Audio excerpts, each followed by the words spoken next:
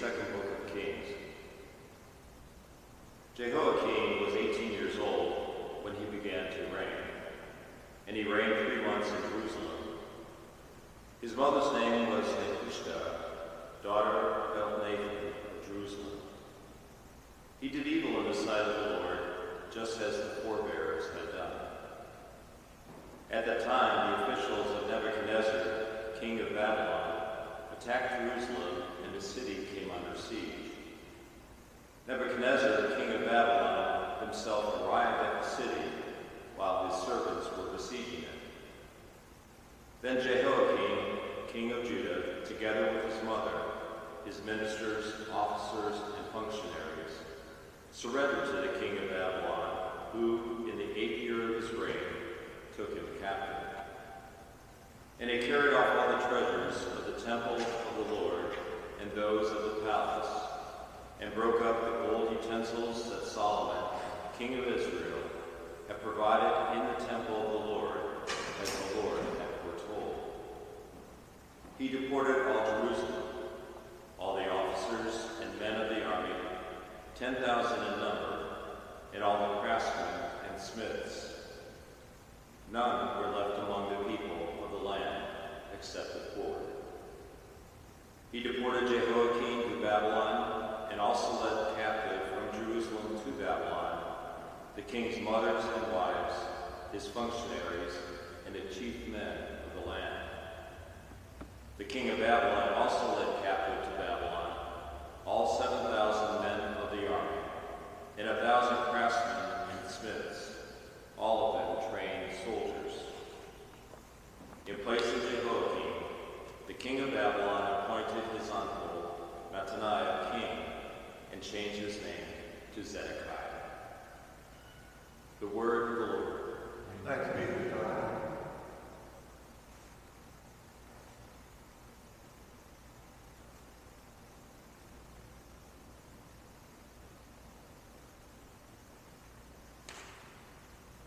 For the glory of your name, O Lord, deliver us.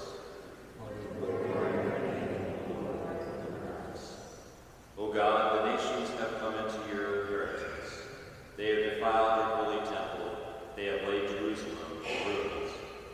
They have given the corpses of your servants as food to the birds of heaven, the flesh of your faithful ones to the beasts of the earth.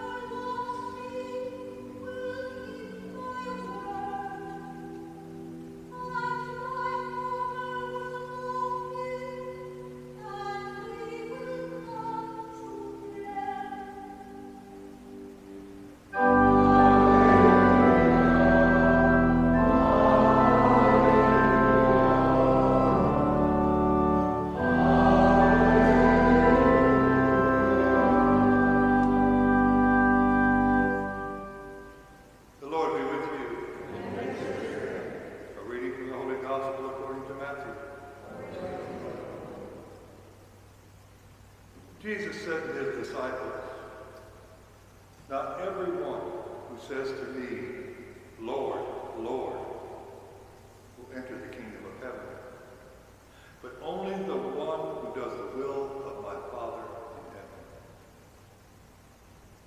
Many will say to me on that day, Lord, Lord, did we not prophesy in your name? Did we not drive out demons in your name? Not do mighty deeds in your name? Then I will declare to them solemnly, I never knew you. Depart from me, evildoers. Everyone who listens to these words of mine and acts on them will be like a wise man who built his house on a rock. The rain fell, the floods came, and the winds blew and buffeted the house. But it did not collapse. It had been set solidly on the rock. And everyone who listens to these words of mine but does not act on them will be like a fool who built his house on sand. Rain fell, floods came, and the winds blew and buffeted the house. And it collapsed and was completely ruined. When Jesus finished these words, the crowds were astonished at his teaching, for he taught them as having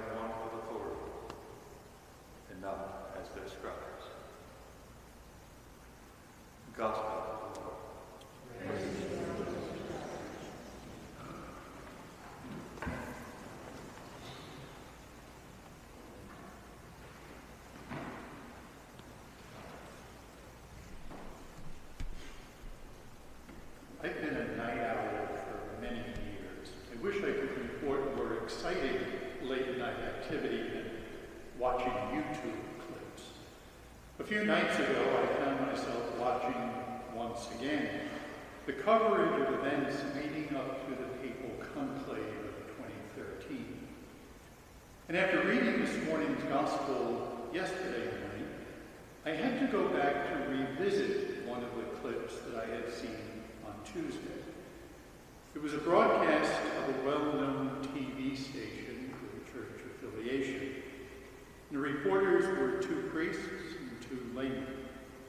And one of the priests, whom I know in a very limited sort of way, was talking about the crisis of faith Western world, which the new pope would have to face head on. He, he went on to say that we needed someone who could bring us back. And the us included the Roman Curia, which he acknowledged was in need of reform. He went on to speak of the Pope as Christ among us. He spoke of the grace of state enjoyed. When you become the Roman pontiff, he said, the successor of Peter, you have the fullness of authority. The Holy Spirit guides the Pope in the ordinary exercise of his duties. The Holy Spirit guarantees that the Pope will not teach heresy. No problem with any of that, since the cardinal electors entrust themselves and their sacred responsibility to the Holy Spirit, praying that they allow the Spirit to work through them in choosing the right man for the job. One of the other commentators underscored we need a workman-like pope who is going to stay at this job of reform because it will not happen in 100 days. Now here's why I had to go back and watch the whole thing a second and even a third time. Seven years later, this posse, that's what they call themselves, are doing what posses did in the Western movies of old. They're out hunting down the bad guy. In this case, the 266th successor of Peter, chosen by the Holy Spirit for this moment in the history of the Roman Church. They're not alone in their disdain and rejection of the Holy Father. They join or they're joined by cardinals, bishops, priests, and laity who don't like or approve of the way Francis speaks and acts, of what they think he represents, a break with the past. For one thing, many of those traditions, just like the sin of racism in our own country, need to be eradicated, and the sooner the better. That's part of the reform that they themselves called for seven years ago. But far more significantly, they don't name very well or very clearly where or how Francis deviates from the teaching of the Church through the ages. They accuse of a liberal agenda on the part of the first Third World Pope. Named an auxiliary bishop in 1992, Francis is the first post-Vatican II pope in the history of the Church. And while his experiences may be different, his faith is that of the Church. In one of the first interviews shortly after his election, he was asked, Who is Jorge Bergoglio? And without missing a beat, he said, I am a sinner. He has no problem acknowledging that of himself and the rest of us who make up the body of Christ. And while some will be quick and seemingly happy to condemn us to hell because of the sinful human nature that we've inherited, the Church and the Pope are much quicker to remind us that though we are sinners, we are redeemed sinners. And so when we cry out, Lord, Lord, we are invoking and imploring the mercy of God, which he continues to pour out upon us, commanding us to do as we have received. And with that, in showing mercy day after day, to take tiny steps closer to the kingdom of heaven. While so many are quick to judge and condemn others, like the Pharisees of old, crying out, Lord, Lord, look at all that we've done to try and clean up your church. If they hadn't shown mercy every single day, Jesus provides his answer in this morning's gospel. I never. Depart from it. The church of Jesus Christ can never be well served by an us-them mentality, much less a ministry. There are no sides. There is, though there is no shortage of sinful and evil agendas which are being perpetrated on God's faithful people, and which can only cause confusion. And that has nothing to do with the Holy Spirit, who continues to try and lead the church. As the church in the world today, as every generation before us, there's no denying that we are sinners. Sadly, though, there can be a lot of forgetfulness about the fact that our sinful human nature and inclination is why the Father sent the Son to redeem us and to lead us back home to the Father.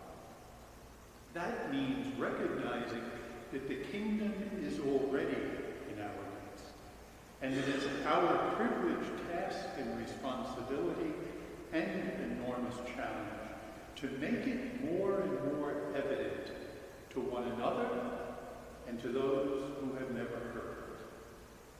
We all need to hear again and again the encounter between Jesus and the woman dragged before him because of her sin of adultery, a sin punishable in that day by death. Once Jesus reminded those who stood ready to kill her of their own sinfulness. Left alone with her, he asked, Is there no one to condemn you? Neither do I. Go and avoid your sin. In the silence of our hearts, in the recesses of our consciences, where we are most alone and at peace with God, Isn't there enough to keep each of us, pope, cardinals, bishops, priests, deacons, laity, busy?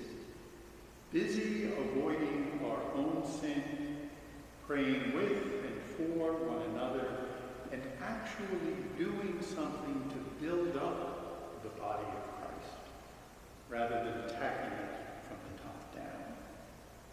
Jesus had something to say about that, too. A house divided against itself cannot stand. By the grace of the sacraments, especially reconciliation in the Eucharist, may we become, because we are not now, wise builders. Not building our own kingdoms and legacies, but furthering the kingdom of God. A kingdom of truth and light, holiness and grace, kingdom of justice, love, and peace. Together as one body, one holy Catholic and Apostolic Church, let us join hearts and voices together we cry out, Lord, Lord, help us in this holy work you have entrusted to us.